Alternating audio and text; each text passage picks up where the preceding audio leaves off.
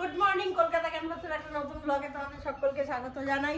আমার মোটামুটি কম breakfast table হয়ে গেছে রেডি করা গজার ডিম সেদ্ধ চন্দনবাবুর ডিমের পোচ আজকে তো আমি খাব না আজকে তো আমার উপোস যেহেতু শিবরাত্রি সেজন্য আজ আমার খাওয়া নেই। তো ওরা চন্দন বলছিল আমি কি করব? ব্রেকফাস্ট কি নিরামিষ? আমি বলছি, না এখনও পর্যন্ত তো লাগেনি লাগবে তো সেই সন্ধ্যেবেলা তোমরা খাও খেতে থাকো, কোনো ব্যাপার না, আমি খাব না। তো সেই জন্য আমি আর আমার জন্য কিছু ব্যবস্থাপনা করিনি আজকে। ব্যবস্থাপনা নেই, কিন্তু নিরামিষই হবে, দুপুরবেলাটা নিরামিষ হবে। ভাত করেছি আর এই যে অরড় ডাল বসিয়ে দিয়েছি, আর আলু পোস্ত হবে। বেশি ঝামেলা করতে না করেছে, আলু পোস্ত করে দেবো। দিয়ে আমি ঠাকুর ঘরে স্নান করে ঠাকুর ঘরে ঢুকে যাব। আর গজাকে কি বলো তো গজাকে আমি আর ওই নিরামিষের ঝামেলায় রাখলাম না। কারণ ওর তো মঙ্গলবারটা নিরামিষই খায়। আবার যদি আজকেও নিরামিষ খায়, তাহলে মুশকিল, এটা কি হয়ে গেছে? হ্যাঁ। বন্ধ করে দিই। কর্পূরের গন্ধটা সকালবেলাটা এত ভালো লাগে না, বেশ সুন্দর হয় জানো তো, পরিবেশটাই অন্যরকম হয়ে যায়। ব্রেকফাস্ট ওরা কমপ্লিট করেছে মাজামুজিও হয়ে গেল আমার। এইবারে আলু পোস্তটা করব, আর ও ডালটা দেখো ওইখানে রেখে এসেছি ভুলে। দেখেছ? মাথা ঠিক নেই আমার। গজাকে খেতে দিলাম তো। গজার খাবারটা সাধারণত এটাতেই থাকে। আমি বাটিতে সবসময় মানে ঢালি না। আজকে এই এটাই ভুল করে নিয়ে চলে গেছে। পরে দেখছি এটা ডাল। মাথা ঠিক নেই। সাবু বার করে রেখেছি ভিজাবো। রাত্রেবেলা একটুখানি সাবু ইচ্ছে হলে খাব, নাহলে ফল খেয়েই থেকে যাব। অসুবিধে নেই আমার। ও দেখো মা চেঁচিয়ে যাচ্ছে না, আর খাব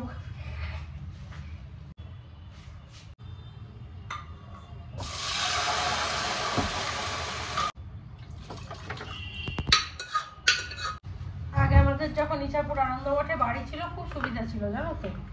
একদম গেট থেকে বেরিয়েই শিব শিবের মন্দির মানে মা কালীর মন্দির ছিল। সেখানে শিব ঠাকুরও ছিলেন। ফলে ওখানেই আমরা জল দিতাম।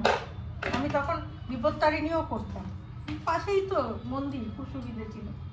আর যে ঠাকুর মশাই সে আমাদের বাড়িতেও পুজো করতেন। মায়ের প্রতিষ্ঠিত মূর্তি ছিল তো আমাদের প্রত্যেক দিনই এসে পুজো করতেন। বাচ্চা ছেলে অবশ্য। সে, ও, ওর সঙ্গে যোগাযোগ যেহেতু ছিল, কখন পুজো হবে, কখন গেলে ফাঁকা পাবো, সবগুলো ওই বলে দিত। আর ও আমার বাড়িতেই খাওয়া দাওয়া করতো মোটামুটি সে শেষের কটা দিন। আমার বাড়িতেই খাওয়া দাওয়া, আমাদের বাড়িতেই খাওয়া দাওয়া করতো। ফলে ওর থেকে আমি জেনে নিতাম, নিয়ে ওই টাইম মতো গিয়ে পুজোটা টুক করে দিয়ে চলে আসতাম। এখানে দেখো মোসাম্বিগুলো বার করে রেখেছে, ওর নাকি চোখের সামনে থাকলে খায়। কবে খাবে সেটা আমার দেখার আছে, হলুদ হয়ে যাচ্ছে, দেখেছ? কালকে অবশ্য খেয়েছে, দেখলাম আমি, নিজে নিজেই নিয়ে খেয়েছে। নিজে নিজেই নিয়ে খেতে হবে, কে করে দেবে বলো তো, এত সম্ভব? আমার পক্ষে সম্ভব না। আজকে আর বড়া করব না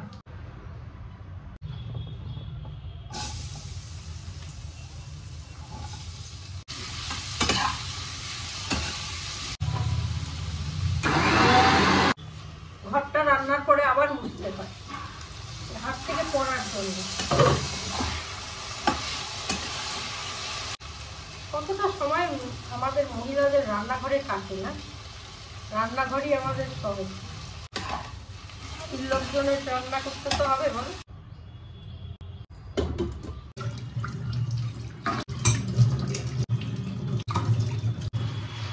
হতে থাক, আমার এই ঘরটার কি অবস্থা?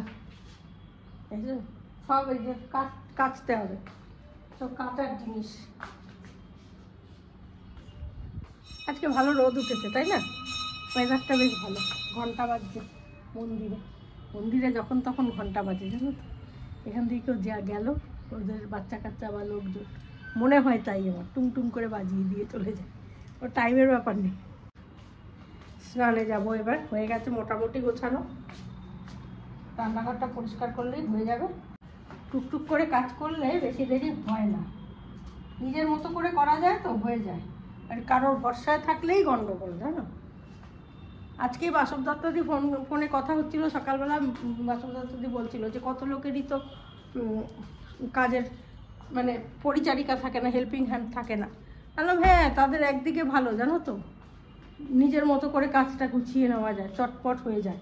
আর যখনই তুমি কারোর ওপর ভরসা করবে, সে আসবে না, সে ঝোলাবে, সে নানা রকম কায়দা কানুন করেই ফুলটা দেখো মেথি হচ্ছে আর হচ্ছে না গরমকাল এসে গেছে, তো আর মনে হয় হবে না। ভালো হচ্ছিল ফুলটা সুন্দর দেখতে ছিল। কমপ্লিট হয়ে গেল রান্না বান্না রান্নাঘরও পরিষ্কার, পরিচ্ছন্ন হয়ে গেছে সব, দেখো। বাসন কোসন পরিষ্কার হয়ে গেছে। এইবার আমি স্নানে যাব, স্নান করে ঠাকুর দেবো। নিশ্চিন্ত মনে। রান্না বান্না এখানে সব গুছিয়ে রেখেছি, এই যে তেনারা তাদের মতো করে খেয়ে নেবেন। আমি এবারে নিশ্চিন্ত মনে ঠাকুর দিতে যাব মানে স্নান করব, স্নান করে ঠাকুর দেবো। উফ। রান্নাটা হয়ে গেলে নিশ্চিন্ত লাগে, জানো তো? কালকে একজন দেখলাম ইয়েতে তোমার ওই লাইভে একটা রিকোয়েস্ট করেছে, ওই গানটা বলছে, তোমার গলায় শুনতে খুব ইচ্ছে করছে। পরে দেখলাম আমি সেটা আগে দেখতে পাইনি। ওই যে গানটা। পথে শুধু পথ হারালাম, নিরুদ্দেশে গেলাম না। ভালোবাসা অনেক পেলাম। ভালোবাসা পেলাম না। এই যে কথাটা না, সত্যি আমাদের সকলেরই মনের কথা। ভালোবাসা, আমার মনে হয় এটা। মানে উনি নির্মলা মিশ্র গানটায় দেখবে, এক জায়গায় এটা কেটে বলেছেন, ভালোবাসা অনেক পেলাম, ভালোবাসা পেলাম না। এই ভালো, প্রথম ভালোবাসাটা মনে হয় মানে আমরা তো যতই অট্টালিকা পাই, অনেক বাড়ি ঘর হয়তো অনেক বড় সড়ো সব কিছুই আছে, কিন্তু প্রকৃত ভালোবাসাটা আমরা পাই না। কি কথার ডেপথ যদি তাই হয়ে থাকে, আমার ধারণাটা যদি তাই হয়ে থাকে, কি কথার ডেপথ ভাবো তো সত্যিই তো? আমরা অট্টালিকায় থাকি, কেউ কেউ বিরাট বিলাসবহুল ফ্ল্যাটে থাকছি হ্যাঁ কোনো রকম আরামের এতটুকু খামতি নেই, কিন্তু ভেতরে কি সত্যিকারের ভালোবাসাটা আছে? বোধহয় নেই, থাকলে সম্পর্কগুলো এরমভাবে ভেঙে যায় না, তাই না? কত সম্পর্ক দেখো ভেঙে যাচ্ছে, আবার বিয়ে হচ্ছে, আবার ডিভোর্স করছে, আবার বিয়ে হচ্ছে মানে কোনো ব্যাপারই না, মামুলি ব্যাপার হয়ে গেছে। এই জিনিসটা খারাপ লাগে ভাবতে যে সম্পর্কের না এখন দৃঢ়তা নেই। কোনো সম্পর্কের দৃঢ়তা নেই, বিশেষ করে এখন মানে স্বামী স্ত্রীর সম্পর্ক তো খুবই দেখছি এই ব্যাপারগুলো হয়ে গেছে যে সেই মানে কোনো কি বলব সম্পর্কগুলোর মধ্যে কোনো কমিটমেন্ট নেই। সব থেকে বড় কথা এটা। কমিটমেন্টটার একদমই নেই। আর কারও কারোর খারাপ, অল্প খারাপও আমরা এখন আর নিতে পারি না। আমাদের খারাপও তারা নিতে পারে না, তাদের খারাপও আমরা নিতে পারি না। ফলে সব যেন কিরম একটা অগোছালো। সুতরাং ভালোবাসা পাচ্ছি আমরা ঠিকই, কিন্তু ভালোবাসা ভালোবাসা পাচ্ছি না। এটা সত্যি কথা। তো যাই হোক, আজকের ভিডিওটা এখানেই শেষ করছি। আর কিছু করার নেই, এরপরে তো স্নান করে পুজো দেবো। পুজো টুজো দিয়ে আবার সন্ধেবেলার ব্যবস্থাপনা শুরু হবে। তো আজকে কাজকর্ম তোমাদের সঙ্গে গল্প করতে করতেই করলাম। যদি ভালো লাগে তাহলে অবশ্যই লাইক শেয়ার কমেন্ট করো। আর নেক্সট ব্লগ নিয়ে আবারও আসছি ততক্ষণের জন্য। সঙ্গে রাখো, দেখতে থাকো তোমাদের একান্ত প্রিয় পরিবার, কাছের পরিবার, সব্বার পরিবার। কলকাতা ক্যানভাস, স্বপ্ন মানে গেলাম দেখে। বৃষ্টি নামলো চোখে, এমন একটি আশা খুঁজে পেলাম না। যাতে সত্যি আছি, এমন একটি যেন খুঁজে পেলাম না।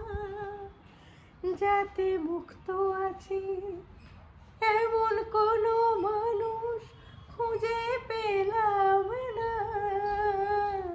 যার মন আছে চলো টাটা।